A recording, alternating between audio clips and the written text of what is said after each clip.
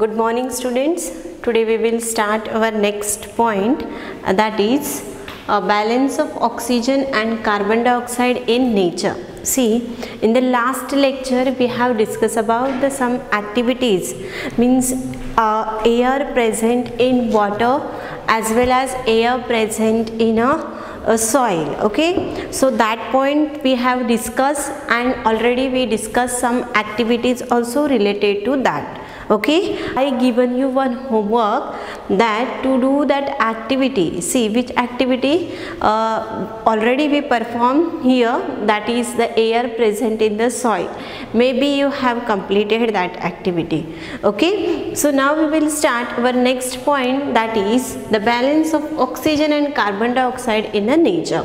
See here in the nature the balance of you know that in our surrounding in the air so many gases present okay? Many gases are present in the surrounding. So for that what are what we have to do it? Means see many gases are present in our surrounding and how they balanced how they balanced means see we know that carbon oxygen 21 percent it is present carbon dioxide 0.03 percent. Okay means these the percentage it is a remain it balance in the nature.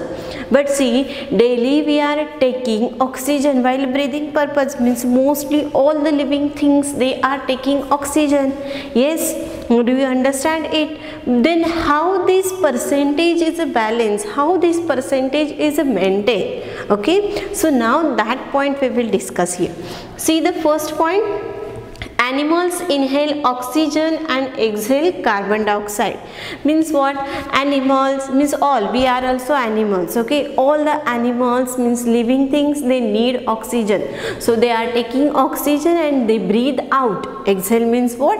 They breathe out carbon dioxide okay? Means see we are taking oxygen we breathe out the carbon dioxide. But here what? During the daytime green plants okay? Green plants the photosynthesis process is going on continuously. So while this photosynthesis process the plants are taking carbon dioxide okay? And they gives out oxygen and what? Means see how it maintain the balance. So during daytime for photosynthesis process plants taking carbon dioxide and they gives out oxygen. Okay? And for respiration we are taking oxygen and we gives out carbon dioxide. See plants for respiration process plants also need oxygen. So during the night time they are taking oxygen and they gives out the carbon dioxide. Okay they given out carbon dioxide. But during the daytime mostly green plants the chlorophyll is present in that. Because of that they are preparing their own food. Okay? So that process is known as a photosynthesis. So while photosynthesis process plants are taking carbon dioxide and they given out oxygen. Means see here we maintain the balance. Means we are taking oxygen we given out carbon dioxide. Plants are taking carbon dioxide and they given out oxygen.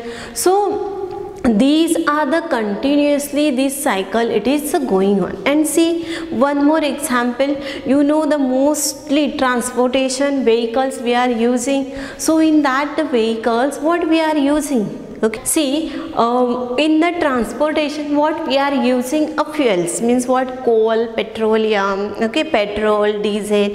These all are the fuels. Fuels means what? It is a natural product. It is a naturally occurring but that we are using for our purpose okay? So for that burning of this petrol for that also what? How the burning will possible. For the burning oxygen is very important okay? We have done experiment also that two candles okay? For burning anything oxygen is very important. So what? They are using oxygen and while this process which gas is released? Carbon dioxide okay? So these are the continuously chain it is going on. See here one carbon how it balance to each other means carbon dioxide and oxygen how it balance the percentage.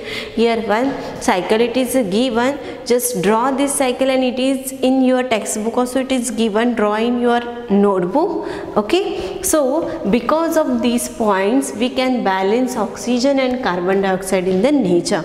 Means automatically it balance do you understand this all the three points? Okay. Now we will go to our next point that is the uses of air. So that point we will continue in our next lecture. So today we will stop here. Thank you